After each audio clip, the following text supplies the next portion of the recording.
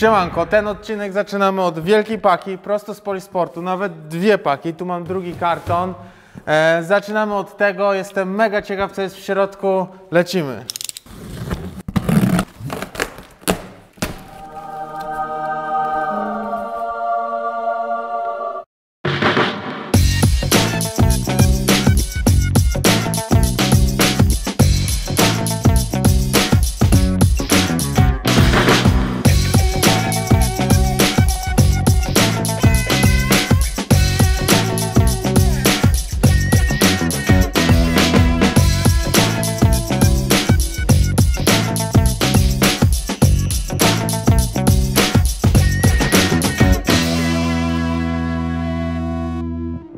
Pomysł narodził się z serii OLX, gdzie prosiliście, żeby kupić jakiś motocykl, pokazać cały proces zakupu, e, no i potem remontu.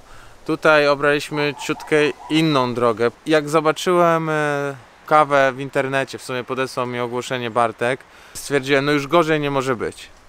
E, Jest to silnik wykatapultowany w kosmos. W ogóle no, jest rocznikowo jest dobrze, bo jest to 12 rok. Już jest na podwójnym wtrysku. Kawa tak była przed innymi motocyklami, jeżeli chodzi o geometrię, więc jak najbardziej jest to motocykl na czasie. Chodzi o to, żeby pokazać Wam, co można zrobić z motocyklem, jak można go super zrobić, jakie najlepsze części można wykorzystać do naprawy, pokazać jakiś pewien standard, z którym powinno się prowadzić motocykle, szczególnie motocykle wyczynowe, czyli motocykle, które mają w rękach Wasze życie bo skaczecie, jeździcie między drzewami, e, przewracacie się, no i oczywiście nikt nie chce mieć e, jakiegoś e, technicznego babola i potem chodzi z połamaną ręką, z połamaną nogą. Trzeba wszystko dokładnie przejrzeć, żeby wiedzieć czego brakuje, co było przekręcone, niedokręcone. No tutaj na przykład e, koła oraz kiwaczki były tak dokręcone, że po prostu nie było tego jak ruszyć. E, no ktoś bezmyślnie to no i to nie może działać, to nie może działać, to też nam daje pojęcie, że na przykład ten zawias mógł ciutkę bardziej dostać w kość. Wszystkie takie informacje przy rozbieraniu motocykla są istotne do tego, jak go potem naprawiać, jak go eksploatować, czego się spodziewać. Jeżeli chodzi o samą ramę, no nie możemy sprawdzić sztywności tej ramy, więc możemy ją obejrzeć z wierzchu. Żeby ją dobrze obejrzeć z wierzchu i zobaczyć, czy są jakieś uszkodzenia konstrukcyjne, kosmetyczne, trzeba ją dobrze wyszorować. Poza tym, tak jak wcześniej wspominałem, musicie mi pomóc z wyborem, czy robimy polerkę, czy robimy czarny mat. Więc taką ramę też wypadałoby ładnie przyszykować pod, e, pod kolejne zabiegi. E, Przy okazji mamy tu airbox, który wiadomo, jak wyjdzie już e, z fabryki, to już nigdy nie jest tak samo czysty. Mało osób korzysta z tych takich zatyczek do filtra powietrza, żeby żeby przytkać dziurę i normalnie myjką sobie w środku wyczyścić, więc tam jest miliard e, tłustego syfu, kurzu oraz tych e, no, syfu po prostu z filtra powietrza, tego, tego tłustego oleju. Wracamy do środka, no i w środku zacznę myć wszystkie śrubki.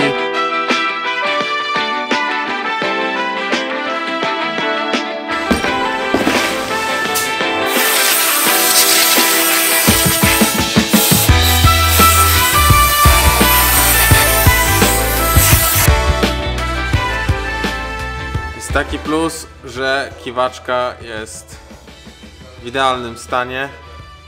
Jest idealnie nasmarowana. E, No jedyne to dolne łożysko tutaj. Przecież też jest ok. Ale może e, profilaktycznie je się zmieni. Zobaczymy jak się złoży motocykl, jaki jest luz. Jak będzie duży, no to się wymieni. Jak będzie e, w w zakresie, no to zostawię, no. Nie ma co świrować.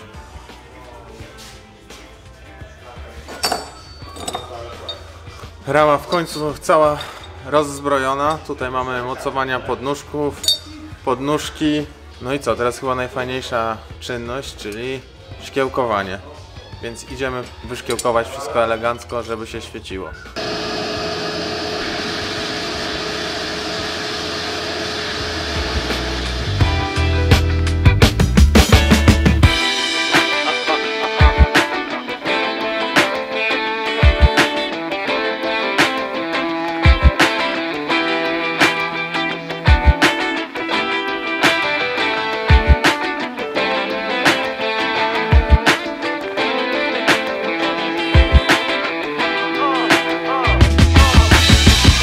Żeby nie było, że się przemieściłem w czasie z tego miejsca tu do innego miejsca w Lobo, po prostu wjechały inne krosy, czy też e, enduraki, tak jak tutaj ta ładna TTR-ka na te miejsce, no i nie ma, nie, nie jesteśmy w stanie się wszyscy tutaj pogodzić, żebym e, mógł siedzieć tutaj, więc mam teraz swoje ładne gniazdko, gdzie mogę robić co mi się podoba.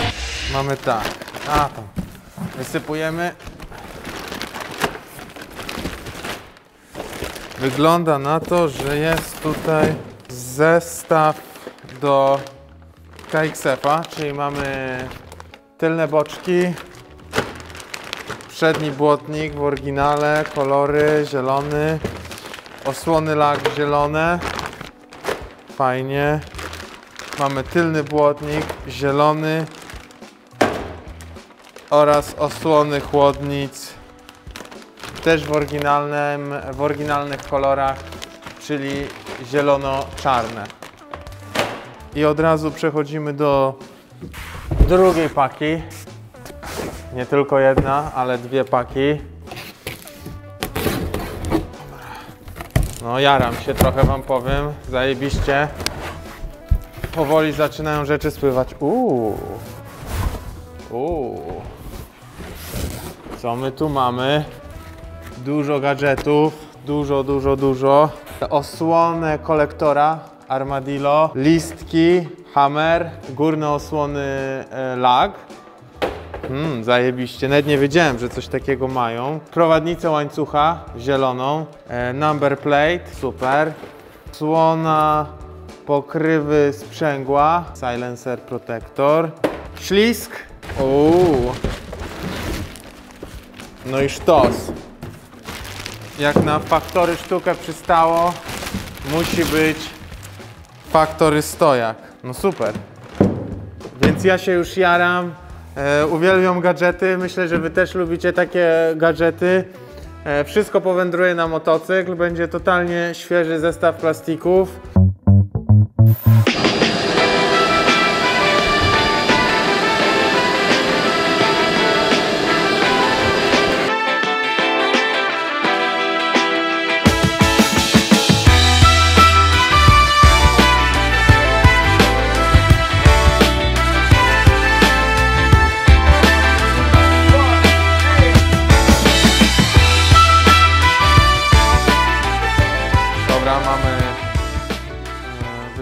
Wyszkiełkowane elementy kiwaczki.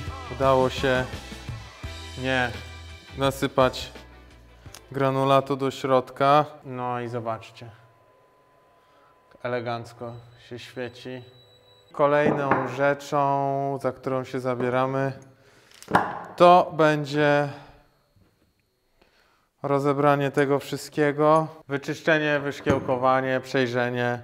E, Pójdzie cała nowa reparaturka zacisków. E, Tutaj z pompą też są jakieś jajca, wszystko jest zardzewiałe, więc e, do dzieła.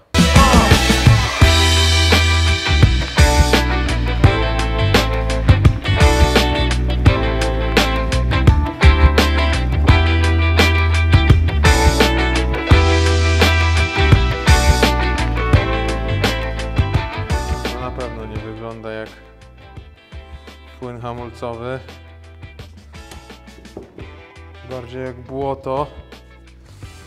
Ciekawe jak długo siedział ten DOT 4 w tym obiegu.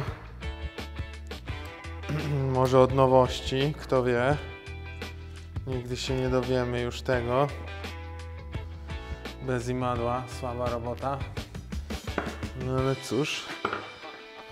Tak wyglądała pompa tylnego hamulca. Widać, nie widać? Chyba widać. No nie za, nie za ładnie. Przerdzewiałe wszystko. ITP, itd. Tutaj ten sam przypadek, o którym wspominał Kuba wcześniej, czyli nawet jeszcze nie dotarte e, tarcze hamulcowe widzimy po klockach. Z jednej strony się zaczęło wycierać, z drugiej jeszcze nie. Mamy nowe tarcze i nowe klocki. Więc taki plus, zajebiście.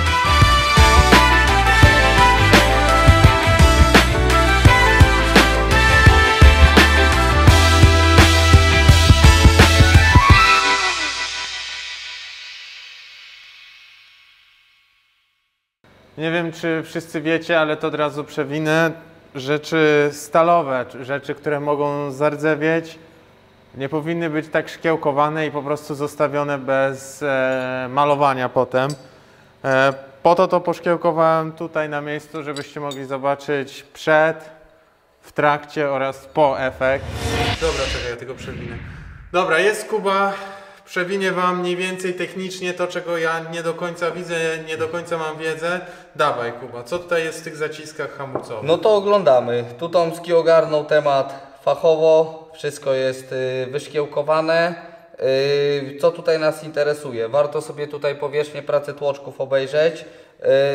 Yy, Przy szkiełkowaniu uważamy, wiadomo, żeby tutaj tego nie zruszyć. Jeżeli zruszyć, y, zruszymy to jakoś, to trzeba przepolerować, żeby była jak najbardziej gładka. Yy, zgarnia, czy powiedzmy i uszczelniacz tutaj samego tłoczka yy, będziemy zakładali nowy. Dokładnie. Yy, razem co, z elementami jakimiś, które uszczelniają prowadnicę. Także to będzie wszystko nowe. No i co? Yy, temat tłoczków. To są tłoczki z przodu.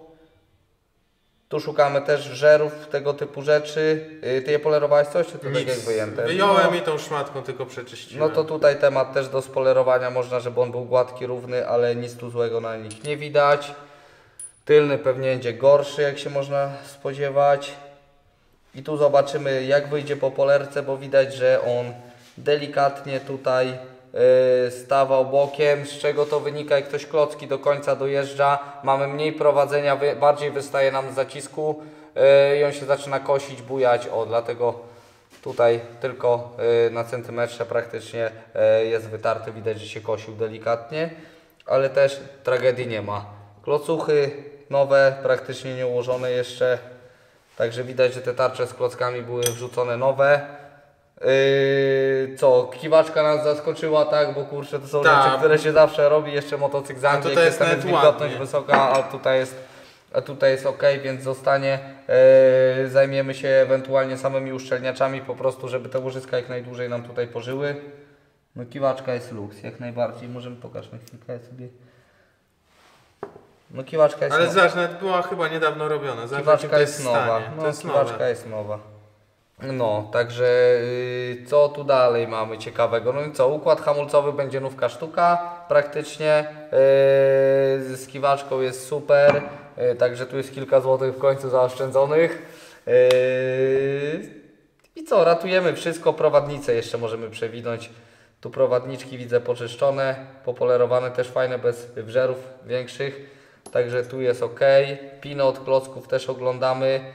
Jak one tu nam się zaczyna od klocuszków odkształcać, tego nie będzie widać, ale pamiętajcie, że yy, tutaj zawsze te odgniecenia prowadzą do tego, że klocek staje bokiem. Jak klocek staje bokiem, to zaraz przekrzywia cały zacisk, ten zacisk się wybija i taka reakcja łańcuchowa następuje i potem są takie często motocykle się zdarzają, że ten zacisk jest albo tak rozchylony mocno, albo cały jest przesunięty w którejś płaszczyźnie yy, i tak naprawdę połowa klocków nam schodzi na to, żeby to się w ogóle poukładało. No i wiadomo, nie chodzi to jak trzeba. Tutaj z uszkodzeń, co znalazłem, jest y, wydupcona osłona tarczy hamulcowej. Niestety poszła. Też się zdarza, no I dokładnie. czekaj, jeszcze czekaj, bo to jest kawałek o dy, dy, dy, dy, dy, dy, przymocowaniu, To, tak jak jest zacisk tak jak kręcony. jest zacisk.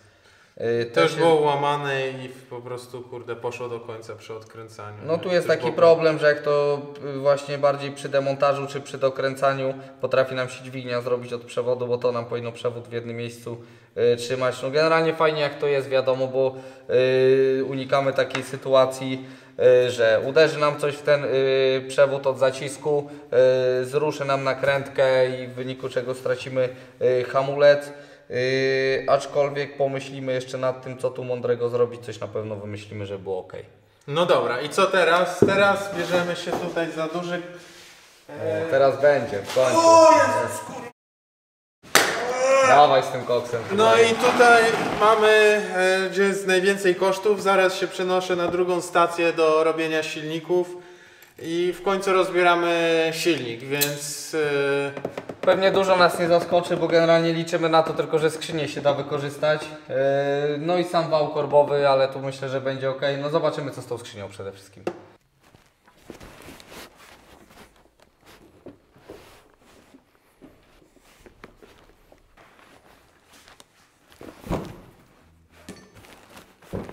Kolejny gadżet. Znowu przyjechał kurier. E, poznajecie tą firmę. Funnel Web Filters. E, to są takie fajne filtry powietrza, które e, przypominają tako, takiego jeża. I to jest bardzo fajne rozwiązanie, bo ta gąbka, ten filtr jest stworzony z wielowarstwowej gąbki o różnej strukturze. I przez to, że ona ma tego jeża od góry, takie kolce. Uuu, kurczę, super. Tutaj z dedykacją. Ride more, worry less. Chills, Niles. Dzięki Niles. Eee, co tutaj nam wrzucił? Dobra, zaraz zobaczymy. O, no i nie dokończyłem. E, przez tego jeża na górze cały brud się zupełnie inaczej osadza i jakby sam odpada. Jakby schnie i sam odpada, więc te filtry nie dość, że nie zalepiają się, więc przepływ powietrza cały czas jest tak, nie taki sam, no, ale cały czas jest lepszy niż przy e, filtrach od konkurencji, które są zalepione to jeszcze potem, e, wiadomo, podczas mycia jest łatwiej. Plus to, że jest e, z wielu warstw różnej gąbki stworzony ten filtr, ten brud nie przenika do końca. Bardzo ciężko jest przeciągnąć e, taki filtr pyłem. No i na koniec dnia co? Ratuje nam to silnik, ratuje nam to e, zawory, tłok. Uuu, dobra, dobra, mi już się e, mina cieszy. Co my tu mamy? Cleaner, sztosik, od razu dedykowany. Dobra, tu postawimy. U lala, u. Dobra, są wlepy. Mamy wlepy. I mamy, gdzie mamy e, dwa filterki do kawki. A to jest na po godzinach, jeżeli wiecie o co mi chodzi. Zajebiste, fajny gadżet. Mamy oczywiście e, płyn do nasączania dedykowany z tej firmy i komplet rękawiczek, żeby nie usmarować sobie rąk. No i tak jak Wam wspominałem, e, ten filtr jest stworzony e, na zewnątrz, tak jak tu widzicie, z takiej fajnej gąbki, gdzie ten brud się osadza na górze, ale łatwiej odpada dzięki tej strukturze. Więc Bang, kolejny partner, dzięki jej e, Funnel Web Filters za wsparcie. E, kawa będzie miała czym oddychać i miejmy nadzieję, że nie wybuchnie już drugi raz. Dzięki. Następna stacja Gdynia Orłowie.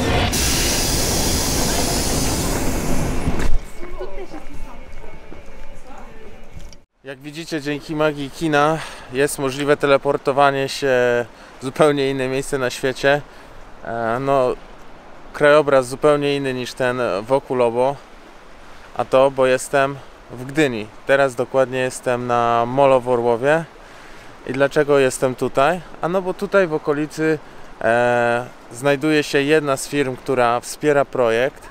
E, wykonuje bardzo profesjonalne usługi, ale o tym będzie w czwartym odcinku. Cały ten projekt nie byłby możliwy, gdyby nie zaangażowanie partnerów. E, Z tego miejsca chciałem wszystkim podziękować, e, którzy biorą w tym udział, czy to są firmy, czy też prywatne osoby. E, Dlatego wymienię wszystkich. Kolejność nic nie stanowi, po prostu jest kolejnością wszystkich firm. Pierwszy nie jest lepszy, po prostu tak mam to ułożone w głowie. Więc tak, zaczynamy. Kawasaki Polska, Intercars, SM Stickers, Polisport, Funnel Web Filters, opony CST oraz mamy jeszcze jedną firmę, której tutaj nie wymienię. A dlaczego jej tutaj nie wymienię? Bo chcę, żeby to była dla Was niespodzianka. Właśnie w tej sprawie jestem w Gdyni i całe doświadczenie zobaczycie na żywo na filmie.